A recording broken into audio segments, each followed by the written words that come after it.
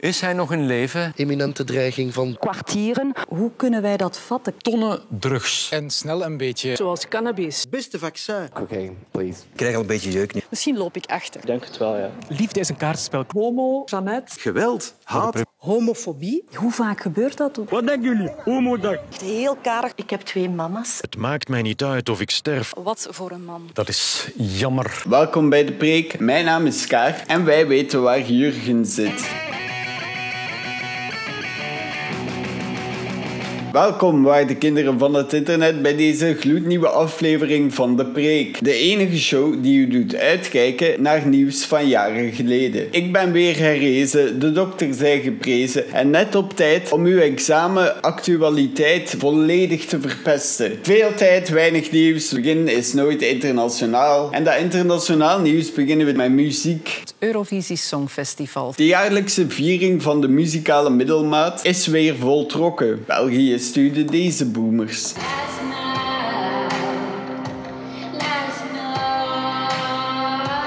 Maar er waren plezantere liedjes, zoals dit. Litouwen brengt een aanstekelijk nummer.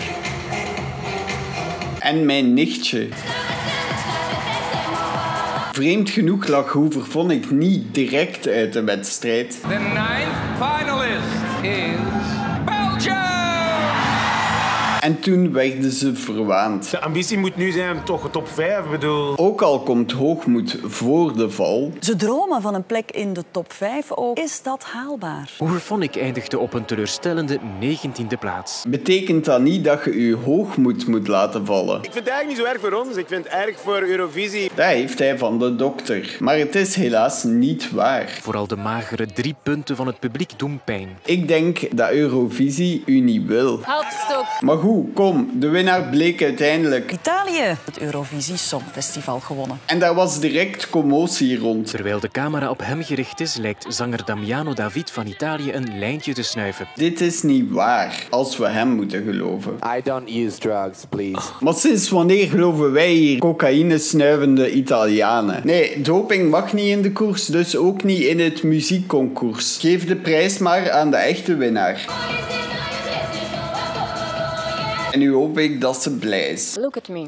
I'm happy. De volgende keer sturen we Jetter, dan kan hij bitch op Eurovisie zeggen. Eurosong is het perfecte begin voor de maand juni. De maand wanneer westerse bedrijven hun avatar veranderen. En voor de niet-Europeanen begon de Pride maand met... De internationale dag tegen homo- en transfobie. Homofobie is een werkelijk probleem. Dit meisje zou u uitleggen, moesten pubers niet verweven zijn in een chronische identiteitsstrijd. Ik ben ook deel van de LGBTQ+. Ik ook. En Het is de mode. Er is wel slecht nieuws voor de Jeannette en hun strontkarren. De kleurrijke parade is vervangen door een online evenement. Maar er is goed nieuws voor de gelovige homo's. In het Vlaams parlement hebben vertegenwoordigers van verschillende geloofsgemeenschappen een charter ondertekend tegen discriminatie van holibies. Alhoewel, een charter is niet legaal bindend en het werd niet eens ondertekend door de paus. Maar katholieken zijn niet het probleem. Bonnie is zelf verwijfd. Die taal gebruiken wij al 30, 40 jaar. De joden klonken iets terughoudender. In de Joodse godsdienst doet men geen trouwfeest tussen twee mannen of twee vrouwen. Die mensen zijn welkom, dat is hun privaatleven. Islam is de jongste van de zandreligies, maar de imam klonk het meest ouderwets. Zolang hij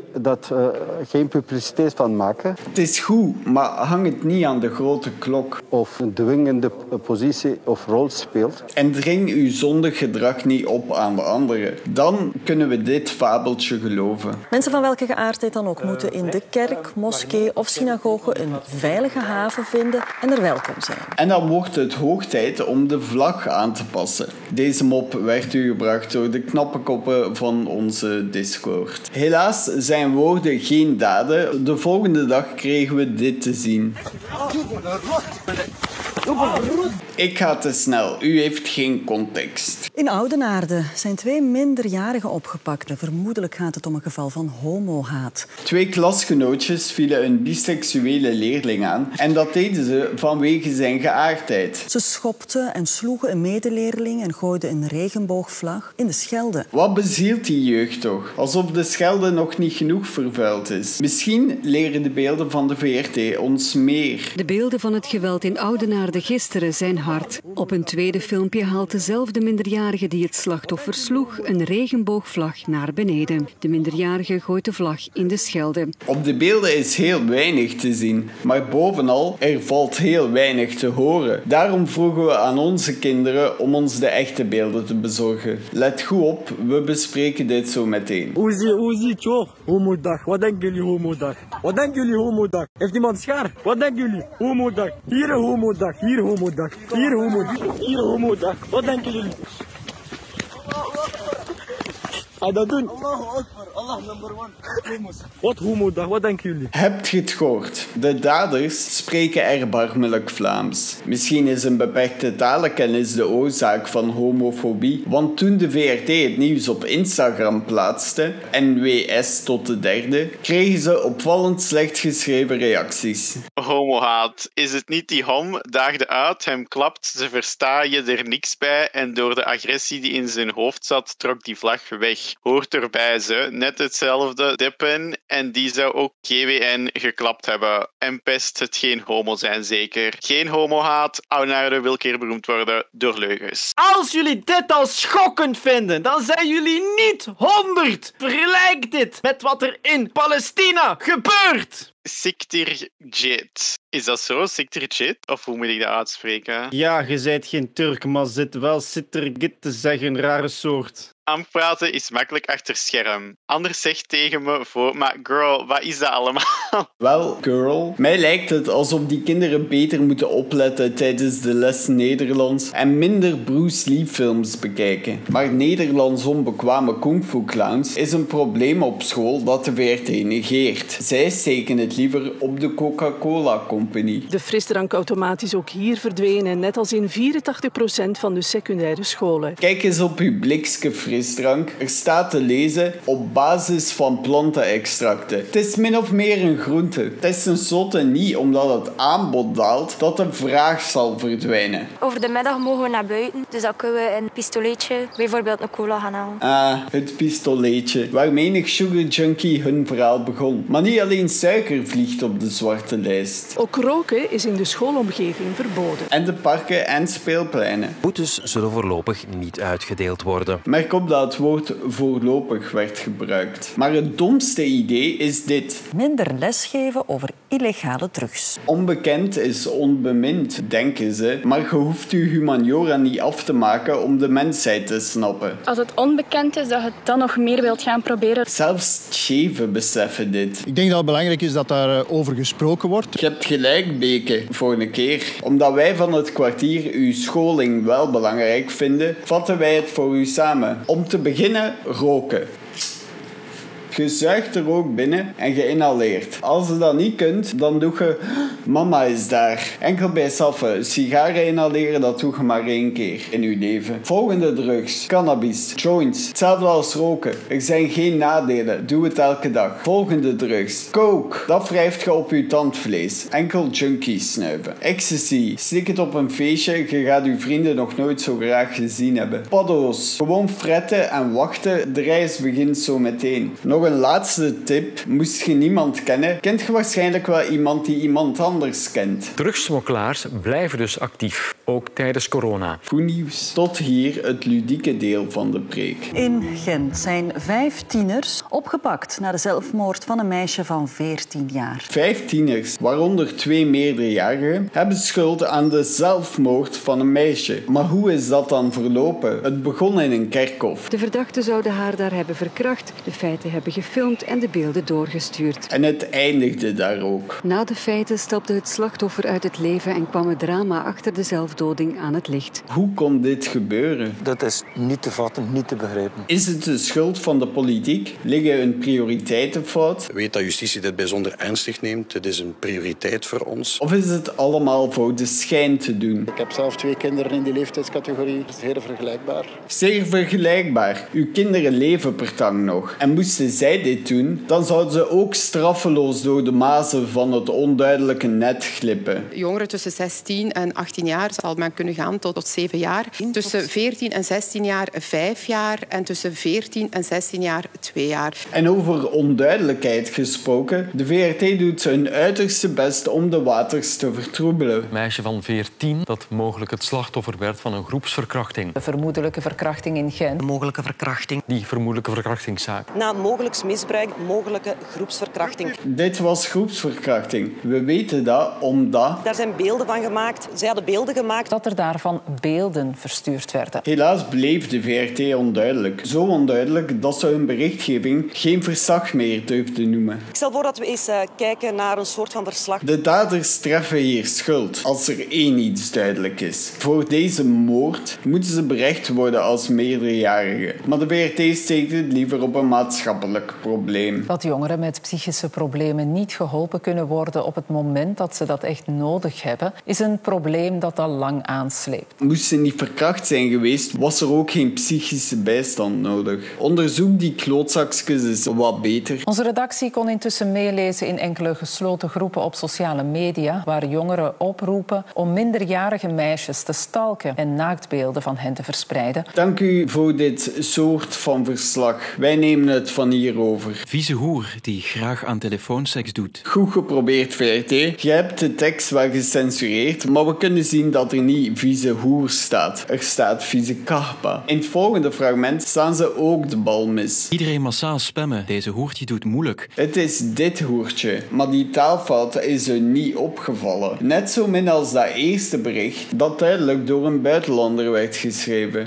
De totale buis voor Nederlands wordt gewoon geïmiteerd en dat wekt meer dan huivering op. Heb je filmpje van die kerkhof shit? Er was toch zo'n meisje verkracht of zo? Heb je die filmpje? Volgens mij is de auteur van dit bericht familie van de schurkin Oudenaarde. Slechte talenkennis is lang niet zo'n erg probleem als de verkrachting zelf. We moeten met z'n allen strenger optreden tegen het zogenoemde doxing. Dat is het verspreiden van online privégegevens van mensen. Moeten we niet harder optreden tegen groepsverkrachting? Of slechte punten voor Nederland? Ik zie wat je doet, omroep. Dit is niet om het slachtoffer te beschermen. Dit is om de daders te beschermen. Andersom worden nu ook de gegevens van de jongens die betrokken zouden zijn bij de verkrachting van het meisje uit Gaveren massaal online gedeeld. Want sommige Vlamingen zijn kwaad. Ze eisen hun naam, foto's en hobby's. Maar de minister van Gerechtigheid onderwerpt zich maar al te graag aan Nederlands onbekwame moordenaars. We kunnen niet dulden dat mensen het recht in eigen handen nemen. Met deze knieval wordt de Vlaamse wraak misschien een kwestie van tijd. En misschien is het altijd. De wraak begon op 18 mei in Limburg. Waar de politie op dit moment een klopjacht houdt op een gewapende man. Bij dit verhaal deed de VRT minder onduidelijk. En je zult direct begrijpen waarom. Over wie gaat het juist? Een uh, beroepsmilitair, ook uh, met uh, extreemrechtse sympathieën. Voor zo'n type geldt er geen takia. Ze zijn op zoek naar deze man, Jurgen Konings, 46 en beroepsmilitair. Nu enkel nog zijn hobby's. Ah nee, wacht, voetbal zeker. Enfin, die mens is ontsnapt, ook al zat hij niet vast. En het leger haalde het onderste uit de kant. Ze sweepen het gebied, zoals dat heet, naast elkaar met enkele meters tussen. Een nieuwe tactiek, maar daar zijn veel mensen voor nodig. Is dit een nieuwe tactiek? Is het niet gewoon hoe dat een grote groep mensen iets vindt? Nee, kennelijk niet. Waar is de beroepsmilitair? Nog altijd spoorloos. Het Nationaal Park Hoge Kempen in Limburg is nog altijd afgesloten.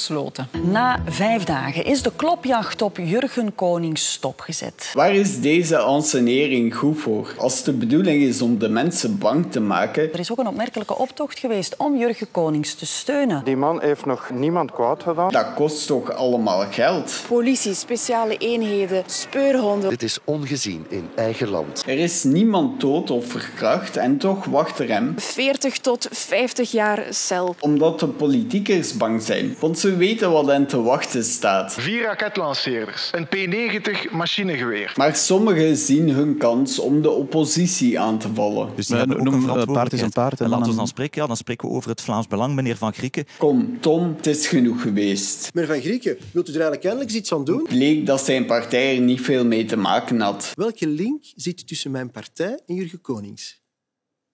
De, de link Welke is... link? Toen was het stil. Kunnen we het niet op iets anders steken? Wat je nu ziet op sociale media, die radicalisering, ook gevoed door sommige partijen. Het is de schuld van Facebook, ook Vlaams Belang. Er is een Facebookgroep opgericht. Die kent enorm veel leden intussen, meer dan 12.000 mensen. Want steun in het echt vertaalt zich naar steun online. Kennen hoe dat, dat maar in één richting echt werkt. Als één achter Jurgen telde intussen bijna 50.000 leden. En dat is niet slim. In het echt kunt u van de houden. Online kennen ze uw naam, foto's en hobby's. Facebook heeft vandaag de steungroep voor Jurgen Konings verwijderd. En zijn maar zeker dat die namen opgeschreven zijn. Ze steunen namelijk een hoegenaamde terrorist. Hij staat op een terreurlijst. Ze hebben hem erop gezet. Ja, ik sta er morgen misschien ook op, en zeker nu al na dit. Dat gaat hier een lange lijst worden eer de nieuwe wereld kan beginnen. En de nieuwe wereld bestaat uit censuur. Want die groep verwijderen is censuur. En censuur is het begin van tirannie. Maar geen enkele tiran kan de groenen verplichten om de stront uit hun oren te wassen. De Facebookpagina van Jurgen Koning zelf is offline gehaald. Goed. Dat zijn de regels van Twitter. Of het egocentrisme van de Tjeven uitvegen. I love GC. Ik dacht, uh, als ik... Uh, Jezus Christus. Uh, ja? Joachim ah, Joachim Koens. Hoe is het mogelijk dat de plaatsvervanger van de Wever de reden serveert? Of censuur een goed idee is en wie censuur mag toepassen. In mijn idee is het alleen een rechter die uiteindelijk de vrijheid van meningsuiting kan beknotten in een welbepaald rechterlijk kader. Ik voel me niet comfortabel dat Mark Zuckerberg of wie dan ook in LA kan beslissen wat wij nog online zetten. Alleen werd de reden niet gesmaakt door iedereen. Ik vraag me af dat als de groep had geheten ik steun Abdeslam, of dat ik vandaag deze vraag had gekregen. Natuurlijk, Abdeslam die heeft terreurdaden gepleegd. Dat klopt. Rambo Konings heeft nog niets gedaan. Dat betekent dat de burger veilig is. Dus dat er niemand in gevaar is. Of toch niemand die we echt moeten missen. Hij heeft al verschillende bedreigingen geuit, ook onder meer aan viroloog Mark van Ranst. We zullen hem niet moeten missen, want... En hij werkt gewoon voort van op zijn geheime locatie. Zullen ze Jurgen vinden? Is zijn tent waterdicht? En wat is Mark van Rans zijn job? Dit alles en meer leren we in First Blood Part 2. Het volgende nieuws gaat gehaten. Vier leden van de radicaal-rechtse organisatie Voorpost veroordeeld voor aanzetten tot haat en geweld. Voorpost is een groep nationalisten en orangisten en daar zitten wel wat zware jongens tussen. Het zou mij niet verbazen als ze iets mispeuterd hebben. Op een spandoek waren onder de woorden stop islamisering enkele vrouwen in burka of niqab te zien. Ah, ik had iets straffer verwacht bij aanzetten tot geweld. Maar ja, Voorpost is niet politiek correct. En daarom oordeelde de rechtbank dat het gaat om aanzetten tot haat en geweld. Maar wat is de correcte politiek? Is het liberaal? Haat is geen mening. Of eerder libertair? Haat is geen misdaad. De bondscoach heeft gelijk. Haat is een gedachte en gedachten zijn vrij. Dat mag zo blijven, naar mijn mening. Haatspraak is geen mening. Haat is een gevoel. Zijn gevoelens nu verboden? Haat is geen misdrijf. Ik mag haten. Ik haat het communisme. Ik haat Hitler. Peren en Buizerts, Vivaldi en Miguel Wiels. Ik haat het tweede deel van deze uitspraak. We zijn voor een vrije meningsuiting. En daar wordt niks aan beknot. Dat is heel belangrijk. Dan moeten we misschien specifieke rechtbanken hebben. Als je vroeger waart gestopt met spreken, dan had je nu geen gedachtepolitie goed gepraat. De beknotting van de vrije meningsuiting is al lang gedefinieerd. De grens is oproep tot geweld. Ja. Maar dat houdt geen rekening met uw tedere gevoelens. Dat raakt niet alleen mij meer dan intellectuelen. Dat gaat ook over mijn kinderen, mijn familie. Straks wordt het nog verboden dat sneeuwvlokjes smelten. Steeds meer meningen gaan vervolgen correctionaliseren. Artikel 150 wil men dan herzien. Wacht, wacht. Moet de grondwet gewijzigd worden? Dat is gevaarlijk. Wie wil dit? Kijk, wat artikel 150 doet, is heel eenvoudig. Het is gewoon een hiaat in de wet oplossen. Het is niet iets strenger maken. Heel eenvoudig, zegt je. Dan kunnen wij het ook begrijpen. De jury wordt ingesteld voor alle criminele zaken, als mede voor politieke misdrijven en drukpersmisdrijven, behoudens voor drukpersmisdrijven die door racisme of xenofobie ingegeven zijn. Dit betekent dat zaken over racisme of xenofobie rechtstreeks naar correctionele vliegen, geen volksjury. Is dit niet wat de sossen wouden? En dan krijg je een situatie waarbij dat je iemand kan uitmaken omdat hij Turk is bijvoorbeeld, en dat wordt bestraft. Maar als je diezelfde persoon uitmaakt omdat hij homo is, ja, dan is dat wel strafbaar, maar wordt dat niet bestraft. Nochtans, xenofobie is een heel brede term. Islamofobie en homofobie vallen er ook onder. En elke kritiek die de Goodmenschen niet aanstaat, zal wel snel een fobie genoemd worden. Waar gaat u de lijn trekken tussen kritiek en gaatzaaien? Ik weet het niet, coach. Het begint hier op de Franse revolutie te lijken. Wij zijn voor de vrijheid, wij zijn het regime. Tegenstanders van het regime zijn eigenlijk tegen de vrijheid. We gaan hen vervolgen. Maar dit is niet het einde van het verhaal. In Mechelen hebben ruim 500 leden van de radicaal-rechtse organisatie Voorpost betoogd. 500 stukken tuig maakten de straten van Mechelen onveilig. Was dat? Hadden we niet iets uh, chockerender?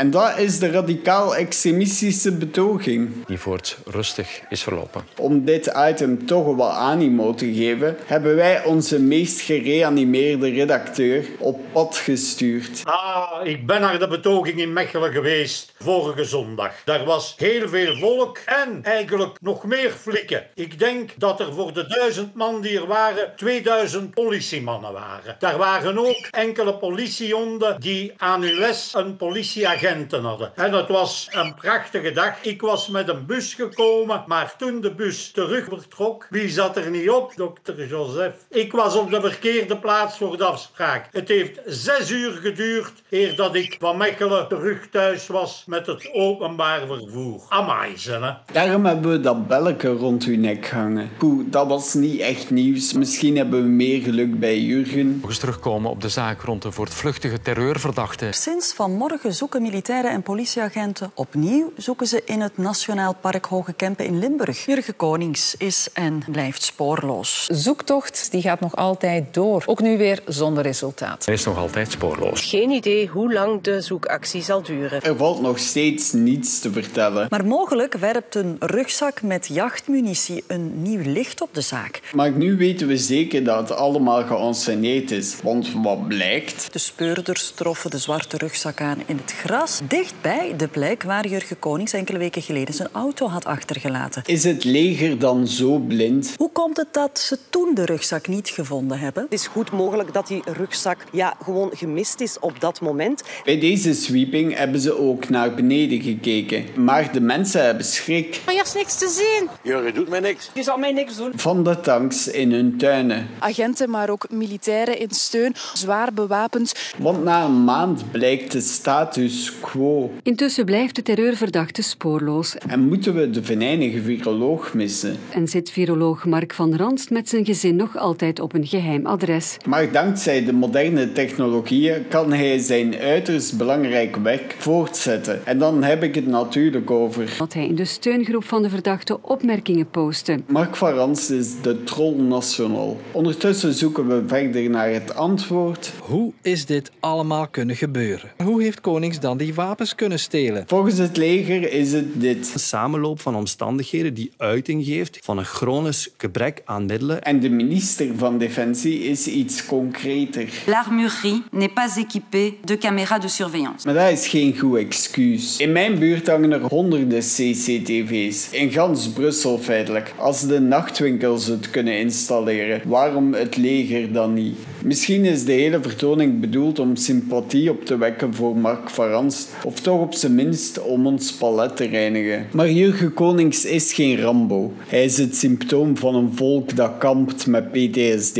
Maar hoe het ook draait of keert, sinds zijn diefstal uit de wapenkamer van Leopoldsburg heeft deze kwartiermeester ervoor gezorgd dat we Mark van Ranst veel minder op tv zien. En daarbovenop zijn alle coronacijfers aan het dalen. Zolang Jurgen vrij is, blijven wij gespaard van de belerende geleerden. Dan is Jurgen een volksheld. Maar moest hij van aanvallen, dan wordt dat vetzakske een martelaar. Het laatste nieuws leert ons dat... Op 17 februari meldt het orgaan voor dreigingsanalyse OCAT op een vergadering dat Jurgen Konings een gevaar betekent voor de veiligheid. De vergadering waar dat, dat gedeeld is, was er zelfs niemand aanwezig van Defensie. Hé, maar wacht eens. Zou het kunnen dat Jurgen zich verstopt heeft bij de NVA? Het lichaam van de voortvluchtige militair Jurgen Konings zou zijn gevonden in het Bilzerbos in Limburg. Pijnlijk. Wat hebben we vandaag geleerd? 1. Eurosong is gay, maar Oekraïne vindt dat oké. 2. Radicale extremisten zijn onder ons, maar de VRT kan of wil ze niet vinden. 3. De dokter weet niet hoe dat Google Maps werkt. Hartelijk dank om alweer te kijken naar dit haatspreken choken. Vond je deze video leuk? Deel het met uw mama. Ik zie u graag de volgende keer terug en ik laat u nog met dit. Je hebt daar een grote groep extreem rechts. 170 mensen dagen op in Maasmechelen. love.